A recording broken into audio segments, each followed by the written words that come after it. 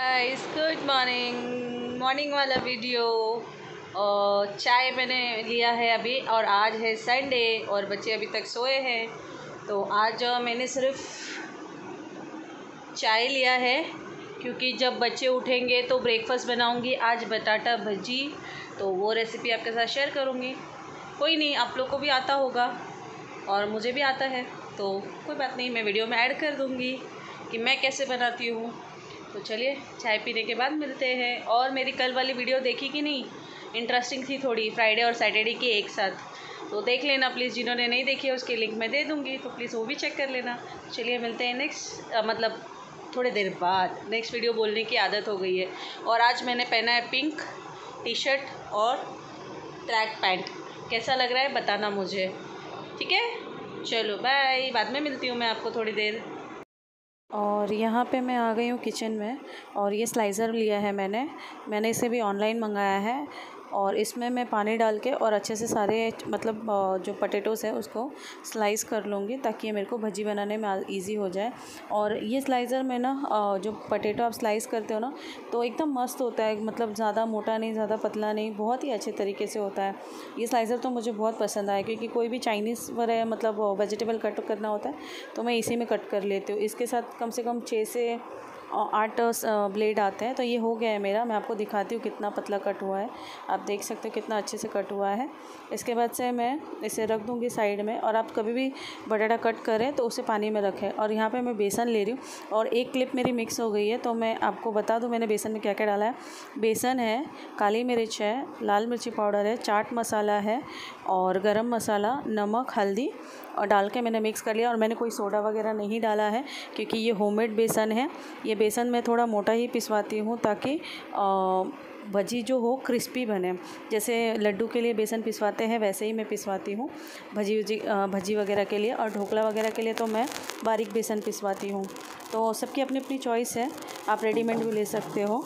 और यहाँ पे मैं अच्छे से तेल गरम हो गया है तो मैं ये वन बाय वन फ्राई कर रही हूँ। नॉर्मली भजी सब बनाते हैं बट ऐसे जो मैंने डाला है, जैसे चाट मसाला, लाल मिर्ची काली मिर्च पाउडर और अपना गरम मसाला, नमक नमक हल्दी तो सब, खाली नमक हल्दी डाल के बनता होगा, लेकिन एक बार ऐसे बना के देखें, मैं ऐसा जो भी है, डाला है मैंने डिस्क्रिप्शन बॉक्स में डाल दूँगी तो प्लीज़ आप वहाँ से चेक कर लेना। तो ऐसा भी दो तीन बार मैं आपको फ्राई करके दिखाऊँगी और देख सकते हो उसमें जो दाने दाने दिख रहे हैं, कितना अच्छा लग रहा है। और ये खाने में सीरियसली बहुत टेस्टी होता है। और मैं फ्राई करके बच्चों को भी साथ साथ एक ही हाथ में देती ही जा रही हूँ, क्योंकि भजी वगैरह क्या है ना, गर्म खाते तो ही अच्छा लगता है और ठंडा होने पे बिल्कुल अच्छा नहीं लगता। तो चलिए इसे फ्राई कर लेते हैं।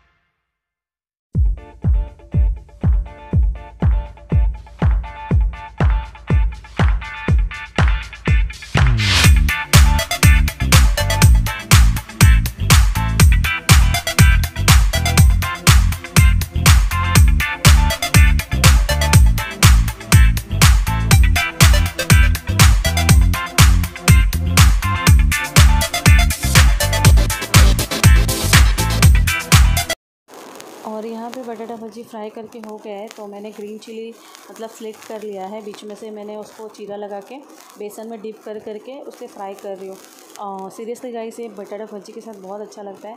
आप एक बार ज़रूर ट्राई करके देखें। आ, जो मसाले मैं इसमें डाली हूँ ना उससे ही ये बहुत चटपटा बन जाता है। आपको अंदर चाट मसाला वगैरह भरने की ज़रूरत नहीं पड़ती मिर्ची के भजी में। तो इसे मैं एंजॉय करने वाली हूँ चाय के साथ। तो चलिए मैं मिलती हूँ आपसे बाद में। गाइस फाइनली हो गया बटाटा भजी बना के। बच्चे लोग बच्चे लोग ने भी खा लिया। और मेरी प्लेट इधर है, आप देख सकते हो। और साथ में चाय थोड़ी सी, क्योंकि मैंने एक बार चाय पी थी। और अभी हो रही है बारिश, इसलिए आज बटाटा भजी का मज़ा। और आपने देखा, मैंने पैसे में क्या क्या डाला। और अगर नहीं देखा तो मैं उसमें लिख दूँगी डिस्क्रिप्शन बॉक्स में तो प्लीज़ आप वहाँ से चेक कर लेना। चलो, मैं इसे एंजॉय करती हूँ, फिर आपसे बाद में मिलती हूँ। और यहाँ पे ब्रेकफास्ट करने के बाद वापस से आ गए हूँ मैं किचन में और आप देख सकते हो मैंने पूरा बर्तन वगैरह सुबह ही क्लीन कर लिया था। तो अभी मैं बनाने लगी हूँ दाल राइस क्योंकि मैंने आपको अगले वीडियो में बताया था कि आटा ख़त्म हो चुका है और हमारे इधर मतलब लॉकडाउन कुछ ज़्यादा ही बढ़ गया है क्योंकि थाने शहर में तो कोरोना वायरस कुछ ज़्यादा ही हो रहा है और जिस सोसाइटी में मैं रहती हूँ, उस सोसाइटी में भी ऑलरेडी दो पेशेंट है कोरोना के तो जो फ्लोर पर है, वो वो फ्लोर भी सील कर दिया है। तो इस समय तो जो चीज़ें घर के अंदर है, उसी चीज़ों से मैं काम चला रही हूँ क्योंकि मैंने आपको बताया कि कुछ कुछ सब्ज़ियाँ भी नहीं हैं अभी घर में इस समय क्योंकि सोसाइटी से अंदर बाहर करना भी मना कर दिया है। तो थोड़ा ये प्रॉब्लम हो रहा है। तो अभी फ़िलहाल सिर्फ़ दाल राइस लगाऊँगी और आलू भुजिया बनाऊँगी। तो यहाँ पे मैं कुकर में दाल लगा रही हूँ और फिर उसके बाद से चावल वॉश करके रख दूँगी।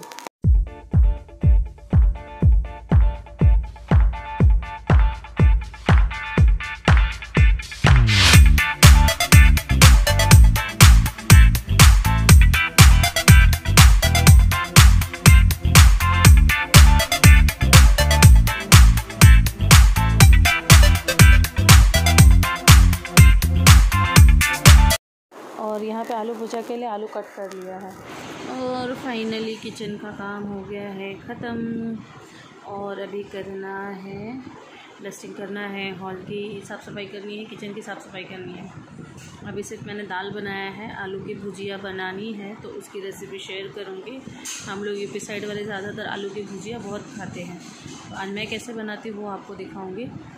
चलिए मिलते हैं बाद में।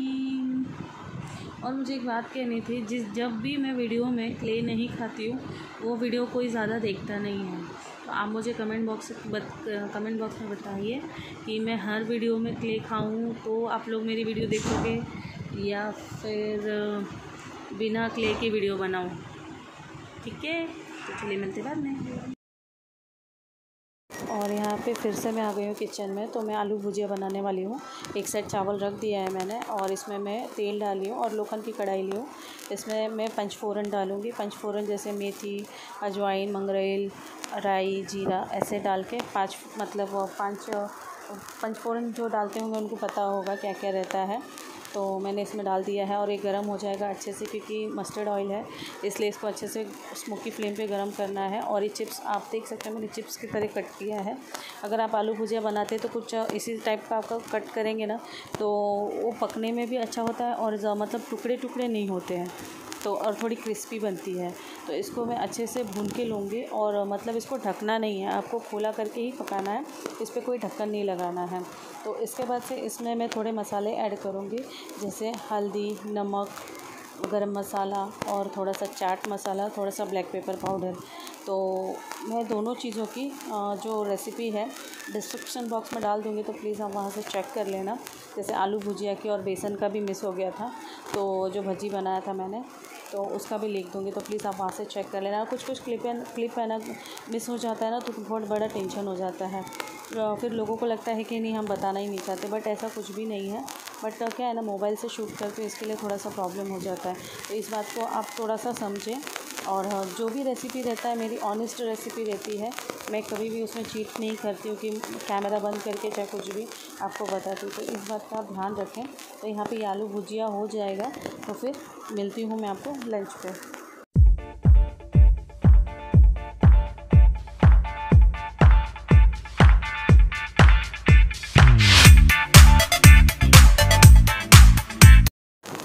खाना बनाने के बाद मुझे बेडशीट चेंज करना था। मिडिल रूम का जो बच्चों का रूम है तो मैं इस पर चादर डालने आ गई हूँ। एक्चुअली ये जो मैट्रेस है, थोड़ी बड़ी आ गई है, बट अभी लॉकडाउन चल रहा है तो इसीलिए मैट्रेस रिप्लेस नहीं कर सकते।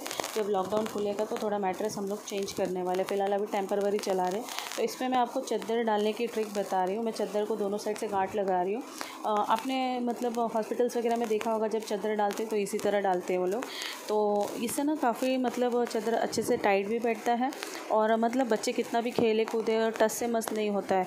और आप चाहिए तो एक से दो हफ़्ता ऐसे ही चादर ही रह सकते हैं और देख सकते हैं, दो मिनट नहीं लगा, मुझे बड़ा मज़ा आता है ऐसे चादर लगाने में। और इसे लगा के मैं आपको लास्ट में दिखाती हूँ कि इसका लुक कैसा लग रहा है। और ये चादर मैंने ऑनलाइन मंगाया था, थ्री इफ़ेक्ट है। तो अब इसका लिंक है कि नहीं पता नहीं मैं दे पाऊँगी कि नहीं। अगर मिल गया तो ज़रूर दे दूँगी तो प्लीज़ चेकआउट कर लेना। मैंने छः चादर एक साथ लिया था। तो चलिए, इसको मैं लास्ट फाइनल लुक दिखाती हूँ।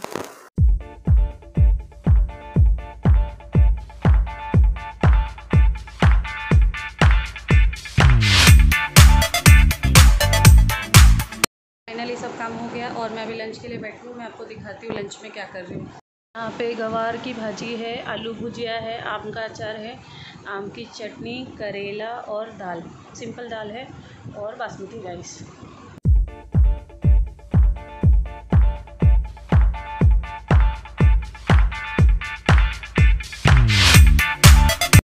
हाँ फाइनली लंच हो गया। और लंच होने के बाद अब आ गई हूँ वीडियो का एंड करने के लिए।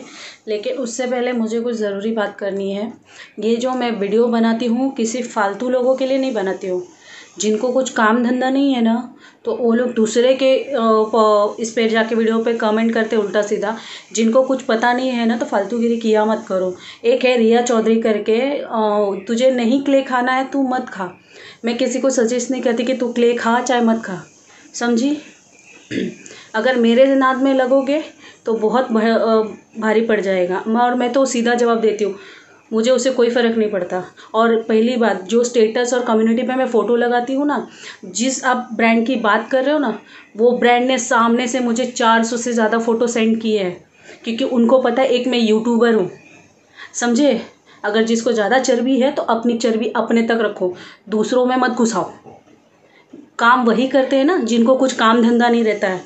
हम लोग हैं ना, एक शरीफ घर से है। हमको कोई फालतूगिरी करने को नहीं आता है।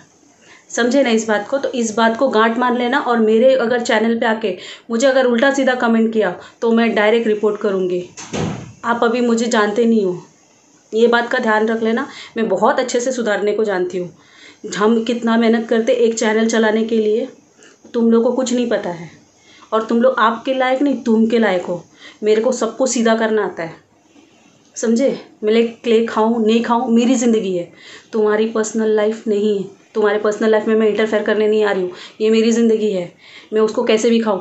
और स्पेशली रिया चौधरी, तुम तुम क्या मेरे से क्ले खरीदोगे? तुम्हारी औकात है क्या क्ले खरीदने की? हम्म? तुम्हारी औकात नहीं है मेरे से क्ले खरीदने की। और मेरे तो पल्ले पड़ना नहीं। मैं जैसी दिखती हूँ ना, उससे कहीं ज़्यादा तेज़ हूँ। और मुझे कंप्लेन करने में दो मिनट नहीं लगेगा। सबकी आईडी बंद हो जाएगी। तो इस बात का आप ध्यान रखना, किसी को भी, कोई भी यूट्यूबर को। अगर आप लोग ने ज़्यादा उल्टा सीधा बोला ना तो सबके पास इतना पावर है कि वो चैनल को आपके बंद करा सकते हैं। ये ध्यान में रखना। और चोरी चोरी तो मेरी फितरत में नहीं है। लोग क्या मेरे को सिखाएँगे चोरी करने के लिए? हाँ तुम लोग बोलते हो फ़ोटो चोरी करके ला अगर कम्युनिटी पे मैंने फ़ोटो डाला, मेरा चैनल है, मैं कैसे भी डालूँ? तुम कौन होते हो मुझे रोकने वाले? और जिन्होंने भेजा, उनको कोई प्रॉब्लम नहीं है। जबकि पर्सनली मैंने उनको कॉल पे बात किया है। कॉल पे। ऐसे कम से कम नहीं नहीं तो अठारह से बीस ऐसे सेलर है जो मुझे कांटेक्ट करें कि मैं उनके क्ले का रिव्यू करूँ। लेकिन करती हूँ मैं कभी। आप लोग को कभी नहीं मैंने किया। तो मेरे नाद में लगना नहीं, वरना मैं तोड़ के रख दूँगी। और चैनल तो जो बंद होगा, वो बंद होगा। उसके आगे की बात की ज़िंदगी बर्बाद भी हो जाएगी। समझ जाना? ये लोग वही कमेंट करते, जिनको कुछ भी नहीं है। नल्ले पड़े, नल्ले। काम धंधा नहीं, कुछ नहीं। बस बेकार में जाने का। दूसरे एक रॉकी कर, रॉक करके है, जो फालतू में सबके चैनल पे मैंने देखा उल्टा सीधा कमेंट करके रखा है उसने। अच्छे लोगों को भी तुम लोग बुरा कमेंट करते हो। जो बुरे हैं, उनको भी तुम नहीं छोड़ते हो। अरे तो सामने वाला चले कैसे? किस तरह से चले? तुमको इतना समझ में आता है तुम किसको बोल रहे हो? तो मेरे को तो बोलना नहीं।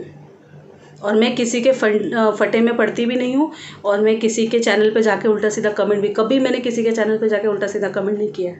मेरे इतने बड़े बड़े मैंने सब्सक्राइब करके रखे चैनल लेकिन कभी किसी के चैनल पे मैंने गलत कमेंट नहीं किया। है और रही बात फ़ोटो की तो वो सब छोड़ दो, वो सब कोई बात नहीं है। मैं चाहूँ तो कॉपी करके भी रख सकती हूँ बट मैं आपको कभी किसी दिन मेरे स्क्रीन पे लगाऊँगी और आपको दिखाऊँगी कि उन लोग ने मुझे कितना फ़ोटो भेजा। एक यूट्यूबर को ना किसी की ज़रूरत नहीं होती। लोगों को स्पॉन्सर करने के लिए लोग हमको ढूंढते हैं। हम उनके पास नहीं जाते स्पॉन्सर मांगने। इस बात का ध्यान रखना। और स्पॉन्सर वीडियो मैं बनाती नहीं हूँ। तो गलत कमेंट मत करना और जो मेरे सब्सक्राइबर हैं, मैं उनके लिए नहीं बोल रही हूँ। तो आके फिर से मुँह मार के इसके अंदर बैठना मत। नहीं तो सीधा कर दूँगी मैं। मुझे बहुत आता है सीधा करने। समझे? थर्सडे वाले ब्लॉग पे सबने मुझे थर्सडे वाले जो सब्सक्राइबर है प्लीज़ जाके देखें। मैंने कमेंट डिलीट किया बट मुझे डिलीट नहीं करना चाहिए था। मैंने ये गलती कर दी। समझे ना? तो इस बात का ध्यान रखिए। बिज़नेस करना, अगर इंसान ही उसको क्या बोले, जो मिट्टी बेच के अपनी औकात बना ले।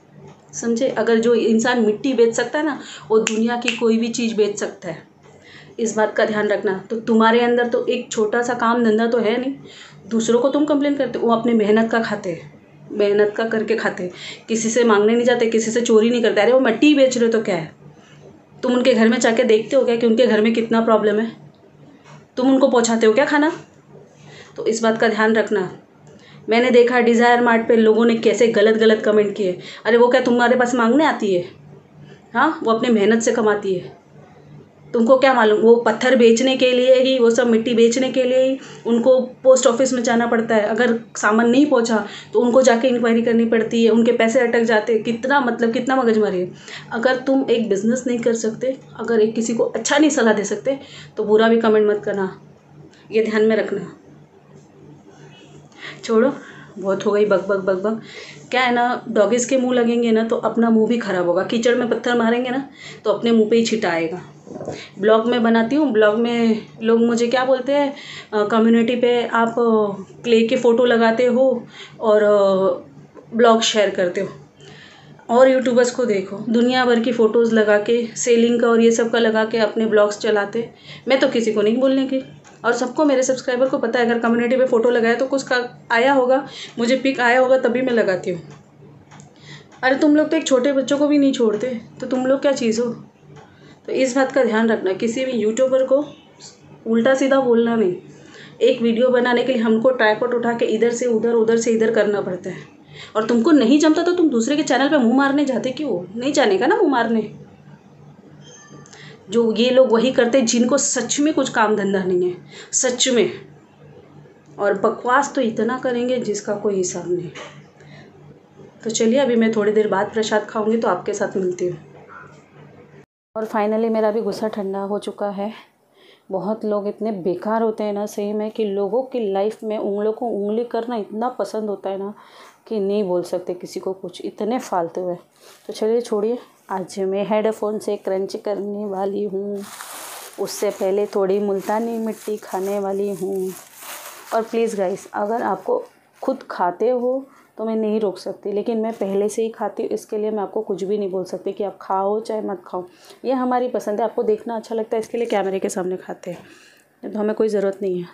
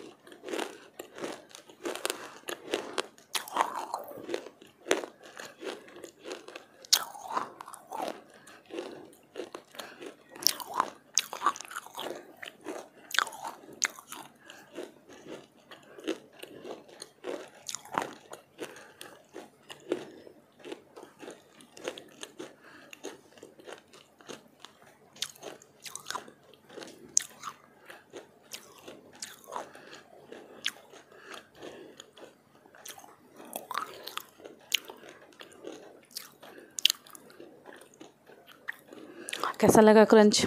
बताना मुझे कमेंट में। और मैंने थर्सडे को नहीं खाया था, फ्राइडे को नहीं खाया था, कल थोड़ा सा खाया था, और अभी आपका सामने जो लिया हुआ है। और अभी इसके बाद डायरेक्ट कल खाऊँगी, नहीं खाऊँगी, पता नहीं।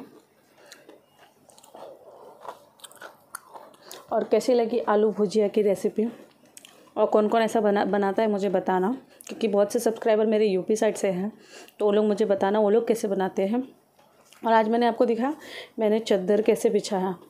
पूरा बाँध के, अगर आप उस तरह चद्दर बिछाओगे ना तो क्या होगा ना कि वो मतलब ऐसे टच से मस नहीं होता चद्दर। पूरा एकदम टाइट रहता है और वो घड़ी घड़ी सीधा करने की ज़रूरत नहीं पड़ती। है बच्चे कितना भी खेले, कूदे, कुछ भी हो, आप एक बार ऐसे बिछा के देखिए। और आप आप लोग बताना, मैंने इतना जो बोला, वो सही था, गलत था? प्लीज़ मुझे कमेंट बॉक्स में बताना। अगर आप पे कोई उंगली उठाएगा तो क्या आप चुप बैठोगे? प्लीज़ मुझे बताना। और वीडियो का एंड यहीं पे करती हूँ। और, आज संडे है, क्ले, आज नहीं आने वाला। और एक तो सबसे बड़ी ट्रेजेडी हो गई कि कल मुझे सैटरडे वाले रात को मैं सोई थी। और न्यूज़ आया कि अमिताभ बच्चन और अभिषेक बच्चन को भी कोरोना पॉजिटिव पाए गए। तो सोचिए, जिनके घर में इतने साफ़ सफ़ाई से रहते हैं, उनके घर में कोरोना पॉजिटिव पाए गए। तो नॉर्मल इंसान का क्या होगा? तो और हमारी सोसाइटी में भी आज संडे वाले दिन ही आ, मेरे हस्बैंड ने न्यूज़ दिया कि कोरोना पॉजिटिव पाया गया तो हमारा सोसाइटी जो फ्लोर पे हुआ है वो फ्लोर ही सील कर दिया और रही बात पार्सल की तो आज संडे था इसके लिए नहीं आया। उन लोग ने मुझे कॉल किया था तो वो लोग कल पार्सल लेने वाले हैं तो ये मंडे वाले ब्लॉग में अनबॉक्सिंग होगा। ठीक है? तो चलिए मैं वीडियो का एंड यही करती हूँ। काफ़ी ज़्यादा वीडियो लंबी हो जाती है और फिर मुझे सेंड करने को पोस्ट करने को बहुत टाइम लगता है। रात को अब लगाती हूँ अपडेट अपलोड करती हूँ तो फिर मॉर्निंग में जाकर पाँच से छः बजे होता है। तो चलिए, मिलती हूँ बाद में। और बताना, मैंने अगर बोला है सही बात तो मुझे कमेंट बॉक्स में बताना। ठीक है? तो चलिए वीडियो में। Tata bye bye take care love you all